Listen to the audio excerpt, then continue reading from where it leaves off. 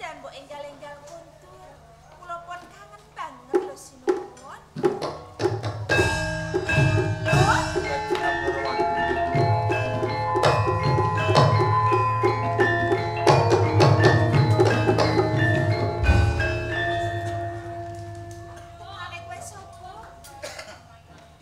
Aku katresnan.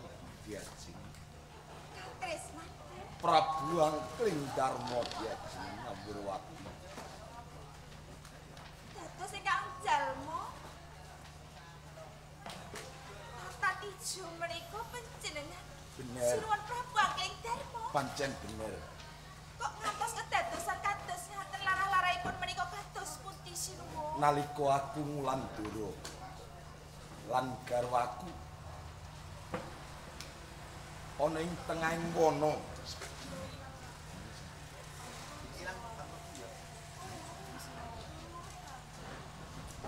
Dhewekne gundang ngerak nanging aku golek ananing ing sumber ora ana.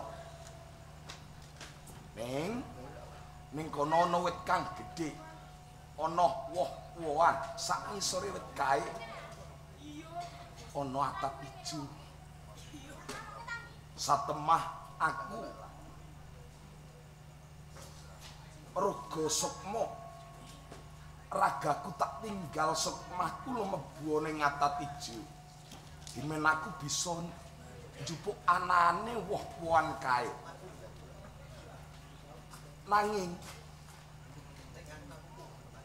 sakjroning aku wis kelakon njipuk anane woh-wohan kae.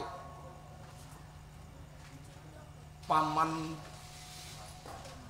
patih batik madrin. Dhewekne uga duweni rasa kelawan garwaku satemah. Dhewekne uga raga sukma ninggalke ragane. Sukmane lumebu ana ing ragaku Prabu Angling Darma. Dhewekne pengen gonjak lan garwaku. Nanging katolak. Satemah dhewekne uga pengin gonjak lan kowe diajeng Amburawati. Nanging tak disilaku dimen ora kelakon gonjak lan kowe tresna lan kowe. Mula Nggih, sinuwun. ing mengkone umpama ana angkling dharma palsu. Tumeka ning Bojonegoro. Kowe tok-etok gelem umpama dhewekne pengen laju lan kowe tok-etok gelem. Nanging kowe njaluki bono. Menapa bubananipun sinuwun? nggonmu sakjroning gelem leladi. Ning ana syarate-syarate nganake adon-adon cah. Syaratipun adon-adon. adon-adon.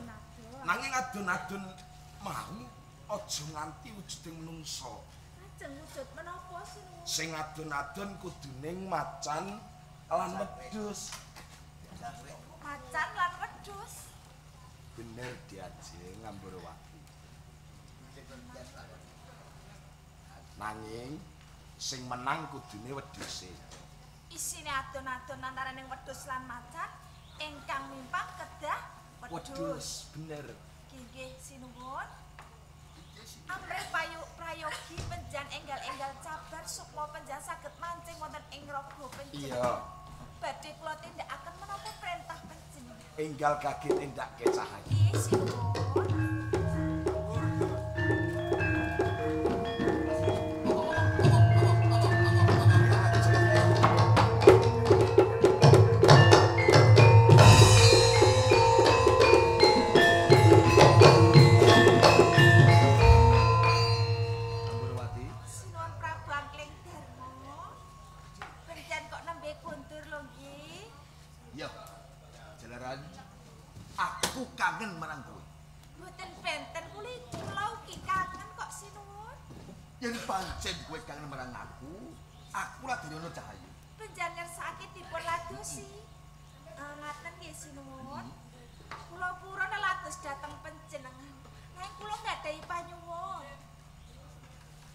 Slira gelem ladi marang pun kakang nanging duweni penjaluk.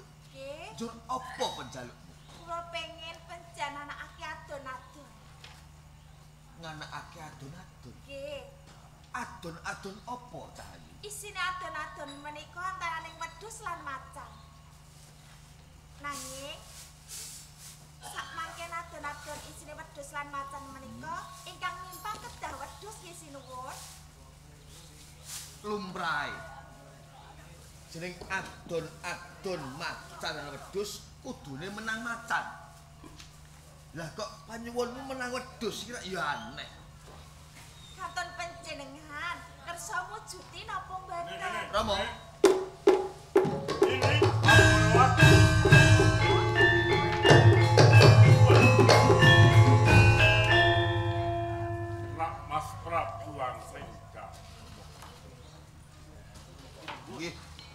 Menapa sampun wonten karampungan anggenipun lampi pidananipun Jawata sampun kundur wonten ing jeneng. estunipun dereng wonten karampungan angin. Sareng kangen kula kangen dumateng garwa kula pun Ambarawati. Piyambakipun kersa ngladosi dumateng kula nggadahi punagi Rama. Lajeng menapa punaginipun anak kula pun Amborowati. kedahipun dipun wontenaken adon adon tanding. Nanging nuwun sewu adon-adon kala wau mboten wujud jaluk manusa nanging wujudipun macan kaliyan wedhus. Kawontenaken adon-adon ingkang dipun aben menika macan kalih nggih lah kedahipun wedhusipun ing mimpang Ini Amborowati. Ci kula Rama. Apa bener kuwi kang dadi punaki? Leres kok Rama. Ini Amborowati. Jeneng darbeni panyuwun kelawan garwa ki mbok sing lumrah. Apa ana jamake yen to wedhus kelawan macan kudu menang wedhuse? Hmm? Iki garwamu lho. Nyun Prabu Amrita. Kula mangertosi kok Rama. Ing menapa kula nyuwun dipun anakake adon-adon isine antaraning macan lan wedhus kedah mimpang wedhus. Kula mangertosi kok Rama pilih garwa kula menika boten sadhe ngajal manusa. Nanging pitatanipun dewa. Menapa kemawon badhe kawujudan menapa ingkang dipun kersakaken Sinuwun Prabu Angling Darma. Oh, kaya ngono. Nggih. Nak Mas Prabu Angklingga. Inggih terus pundi Bab perkawis menika kantun penjenengan. Penjenengan nyagai menapa mboten dhateng punaginipun ingkang garwa. Ya. Eh ning kono ageng tresna ketumantuk dumateng Ambarawati menapa panyuwunipun bagyo sagai Oh ngaten. nggih Patih i coba disamaptakake papan panggonan kanggo adon-adon ya. Mangesta dawuh. Ya.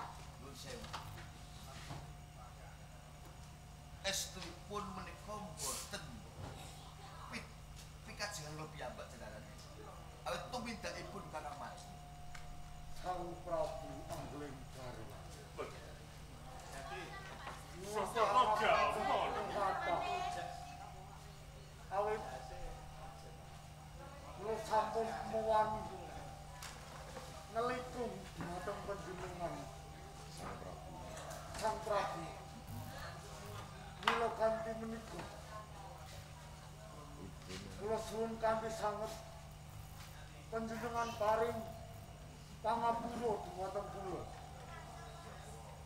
Ya. Kakang Madrim boten kita kados pundi. Ageng pangapunten kula tumanduk dumateng jenengan. Nanging pun jeneng kita kelaku lampah.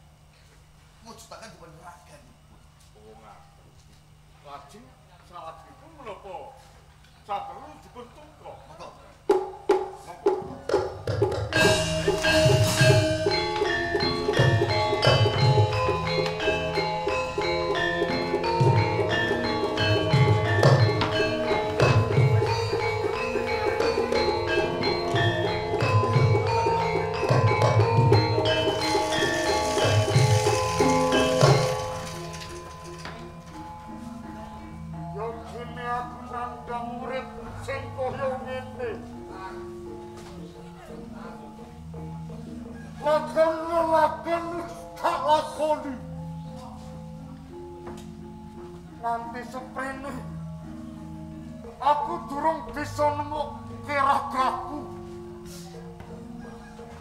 Lu. Hai. Hai ragaku. Kau ragaku. Kau ragaku.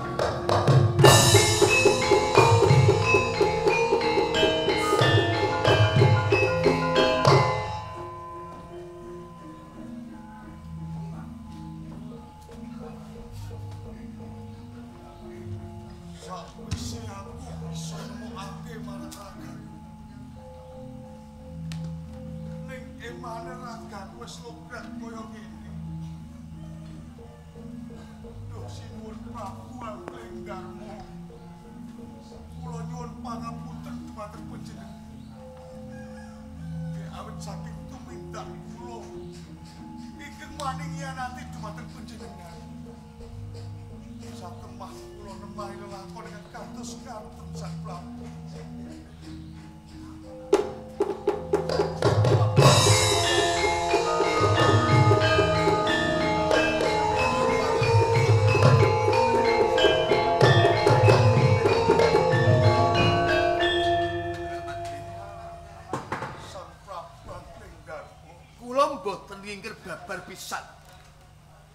Jengan dika menika nggadahi tumindak kados ngaten. Mboten nginten. Jebul panjenengan pangesan jeneng. Sang Prabu Anglenggarmo. Kula rumaosi lepat saking sedaya tumindak sarta pangarep kula. Jalan rikala semanten kula nyimpen raos pangikit-ikit dumateng panjenengan Sang Prabu. Oh. Ya. Ahmad Bin. Kula badhe maringi pangapunten dumateng jengan napa nanging kula nyuwun panjenengan kedah saged njingiraken tiyang teng ing simbar manyura. nanging sinipun Prabu menapa nggih badhe kuwagang jalaran raga kula sampun lograk kados katen kula sampun boten gadhe kegiatan menapa-menapa sang Prabu. Saged ing manginipun kula badhe mbiyantu sak wetahipun dhumateng Kakang Prabu. kados katen Monggo,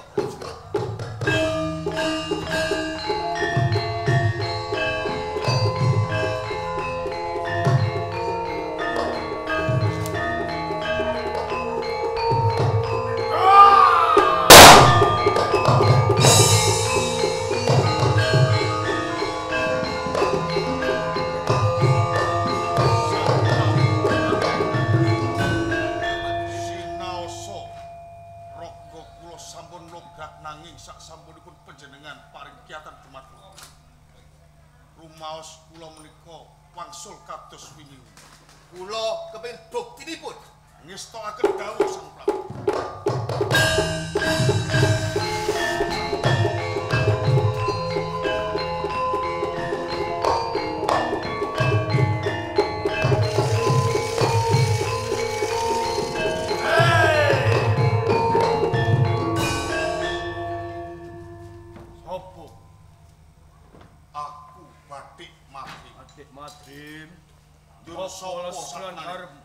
Yo, diwanuh ki. Menanin aku kalau wertos simbar manyuru. simbar maniro Hmm. yen ngono kowe tenggawe geger ana ing Kabupaten Kertonegoro Ora kleru. mangertiyo dina iki aku diutus lan Sun Prabu Angling Darma keng supaya nyingkirake marang Yen kowe dadi kepalamu tak kemah, kemah dina iki. Hei, sabar. Aman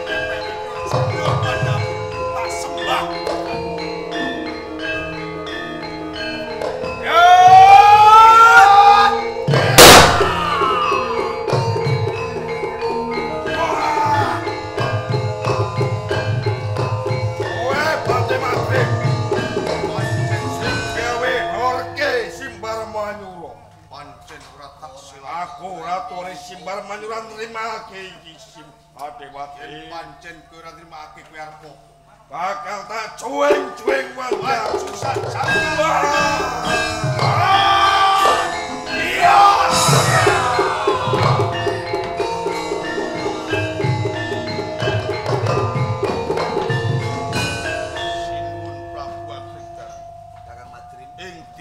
Sak menika tiang-tiang saking Jimbar Manyu sampun saged kula singkiraken sang Prabu.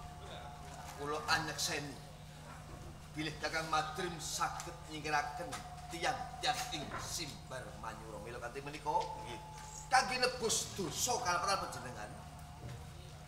Selaminipun sekawan dosa dinten? Panjenengan kedah bersikir Panjenengan luweng nggih. Sinaosa awrat kados puniki mawon kula badhe ngestokaken menapa ingkang dados dawuh panjenengan sang Prabu. Terus ngaten Ing bulan sagu pawiyatan sampun purna.